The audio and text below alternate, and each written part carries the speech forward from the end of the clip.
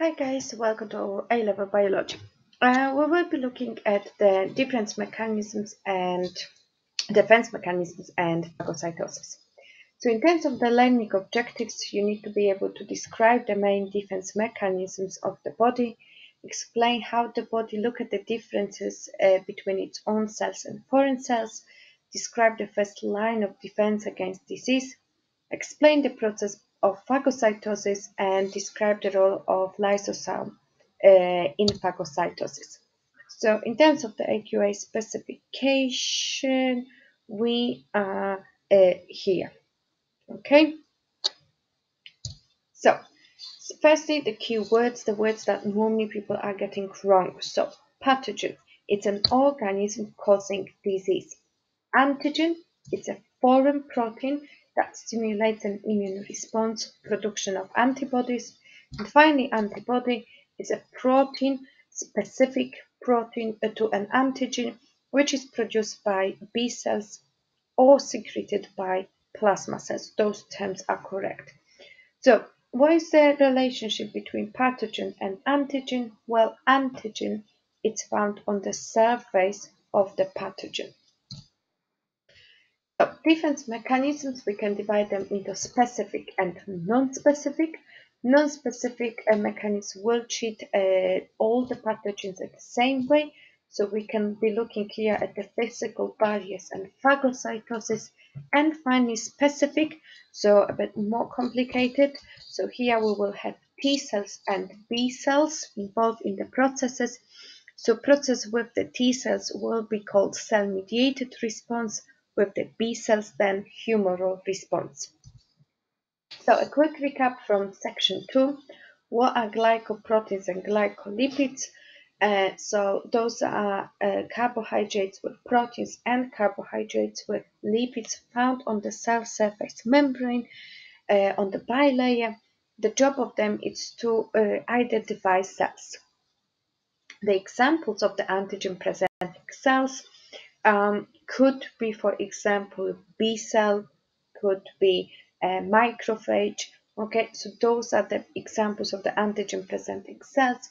Remember, T cells are not antigen presenting cells. Right, so a quick difference between specific and non-specific mechanism.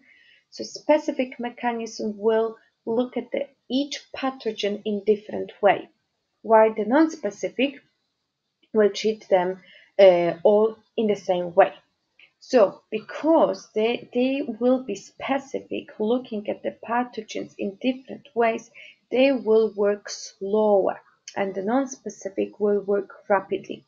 Why are they going to work slower? Because the lymphocytes that will control the pathogen need to build up the numbers, okay? And this will take time. So you will find out soon that B cells and T cells need to divide by mitosis, so that will be taking time. Why the non-specific uh, mechanism, uh, it's the fact that the body responds straight away by recognizing this pathogen and by phagocytosis. Okay, so phagocytosis will delay the building, uh, the, the, the, building of those lymphocytes here, so it works straight away. So there is a process of phagocytosis. Okay, so phagocyte. Okay, uh, with the lysosome, uh, and here we've got our pathogen with the antigen on its surface. So what happens here? We'll have a look at the wider picture. So uh, we've got the phagocyte, okay, so uh, it's our cell and pathogen, okay. So phagocyte is attracted to this uh, pathogen by chemicals and then we'll move to, uh, towards it. So what happens here? The phagocyte, okay, will have specific receptors on its surface membrane that can easily attach to chemicals on the surface of the pathogen. Okay. Uh, then the lysosomes uh, within the phagocyte will start moving towards this uh, pathogen, towards actually this vesicle. Because what happens here once the pathogen engulfs the vesicle it's from. The vesicle could be called phagosome, could be called the vacuole as well. So after it's engulfed, okay, it's uh, producing the vesicle or phagosome or vacuole. Right, so what happens next? What happens to this phagosome, to this vesicle? The lysosome comes along and to release lysozymes. Okay, so releases the enzymes to this vesicle. And those enzymes will hydrolyze the pathogen. Okay, but of course, our exams are not really always straightforward and there are a few hints with the questions. So there could be general questions and there could be more specific questions.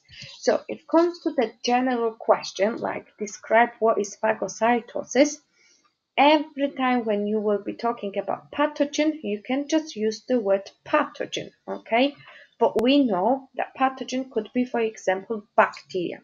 So if in the question they've mentioned anything, they name the pathogen, so for example, they call it bacteria, you must use specific uh, terminology here. So this is just general question. The words like pathogen you can uh, change for bacteria or any other words.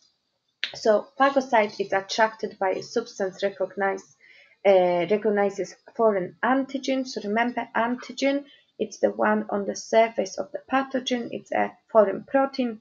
Pathogen or bacteria and engulf, will be engulfed, will be then enclosed in the vesicle. We've mentioned vesicle could be called phagosome or vacuole, and the vacuole will fuse with lysosome.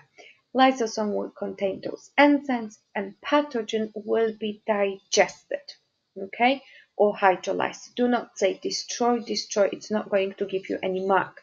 So one more question to look at.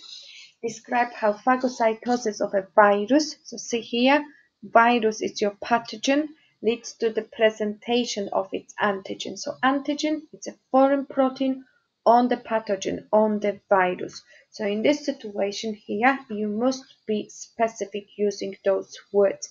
So with the antigen, we always need to say cell surface membrane, okay? Here, pathogen, virus, so call it virus. So how does it happen? How does it work? Starting with the phagosome because it's only three marks. So that vesicle which will fuse with the lysosome. What will then lysosome do? Of course, will have enzymes, lysozymes, which will uh, destroy here destroy the hydrolyze actually hydrolyze the virus and the uh, foreign antigen foreign proteins from the virus, from the pathogen, will be displayed on the cell membrane. So cell membrane is on the line and make sure it's there because one more time, what is the antigen? It's a foreign protein which will be presented on the cell surface membrane to stimulate the production of antibodies. Right, so that's everything. That's phagocytosis done. See you soon. Bye.